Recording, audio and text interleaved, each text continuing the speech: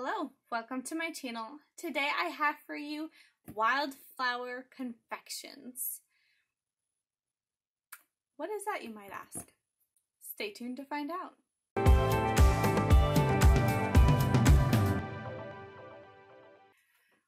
Who doesn't like chocolates?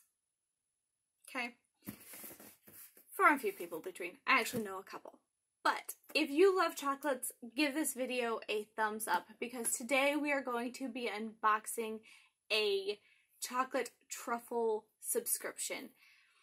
Hi, welcome to my channel. My name is Kristen and I unbox all things subscriptions from men's, women's, kids, books, food, clothing, toys, games, you name it, I unbox it. And if I haven't, then I probably will be soon we are gearing up for a 100 subscriber giveaway. So if you are watching this and you have not subscribed, please click on the subscribe button down below. And don't forget to ring the little bell notification and comment down below what your favorite chocolate is. Whether it's a chocolate bar or style of chocolate. I love salted caramel and chocolate truffles so delicious. So, a little bit about Wildflower Confections. They have their normal, like, year round truffles, and then they have specialty seasonal truffles that they, you know, let out each month for different seasons. This box will include some of their regulars and some of their seasonal subscription or some of their seasonal truffles. Their truffles are made with no cornstarch, cornstarch, corn syrup, um, no fillers, and no preservatives. You can get their boxes monthly, four times a year, or three times a year, depending on your desire for chocolates. They also have different sizes. So the small is $21.95. The medium is a 16 piece for $43.95 and the grand is a 25 piece for $59.95. The shipping is included so you're not paying for shipping. And here's our box. How cute is that? The wrapping paper does remind me more of spring than fall, but it is pretty darn cute. The birds actually match like the sticker in as far as like the color goes. So let's open her up.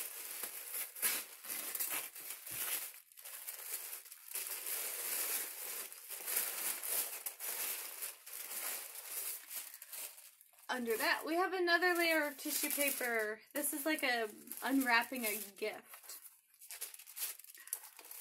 Ooh, those look delicious. Okay, some of them have gotten rolled over in transportation, but take a look at that. So here they are. I'm going to try not to drop them out. We are going to look at some of them. I was kind of hoping, you know how sometimes the I guess commercialized boxes come with a label of what they are. I was kind of hoping to have a piece of paper in here to tell me what the different flavors are, but that is not so.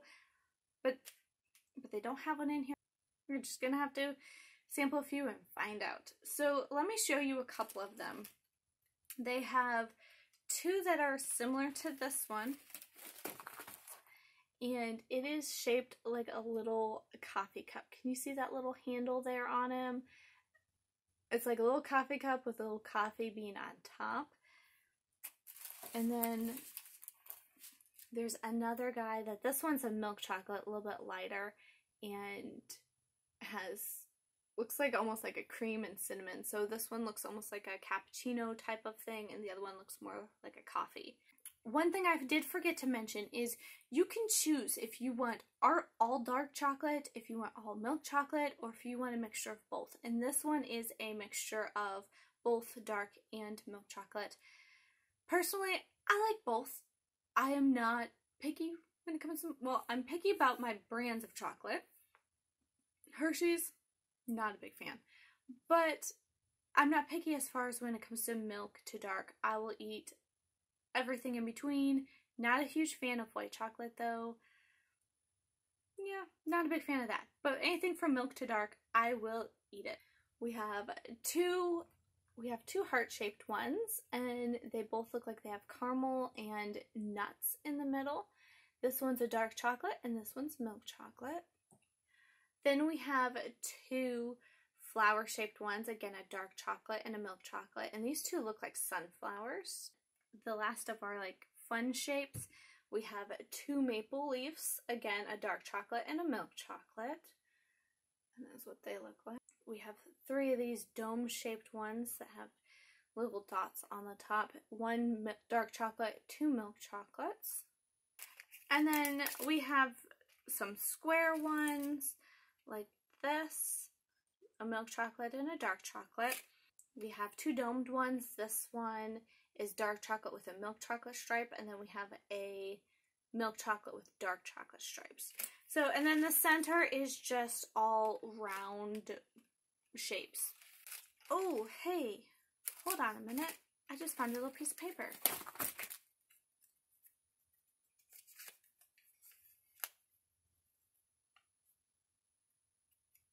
Okay, so in here was a teeny tiny little piece of paper folded up in one of the little chocolate squares. And it identifies the candies. Okay, so the coffee cup with the bean on top is espresso. The other coffee cup is eggnog. The heart ones are peanut butter. Yum. I'm going to start off with a maple bacon because I love maple bacon. I actually made a fudge two years ago. That was a maple bacon fudge for Christmas and it was so delicious. So delicious. Mm. That's good. You definitely get a smoky flavor in it, but it's not overwhelming at all. And this little guy here.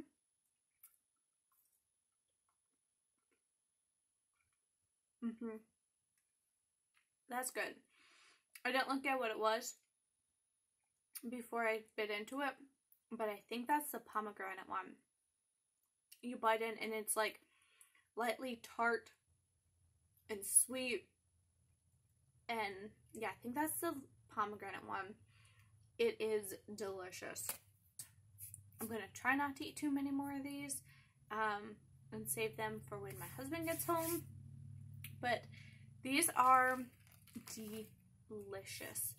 This is a wonderful subscription, especially for you chocolate lovers out there to get a wonderful box of chocolates. The chocolate is so good.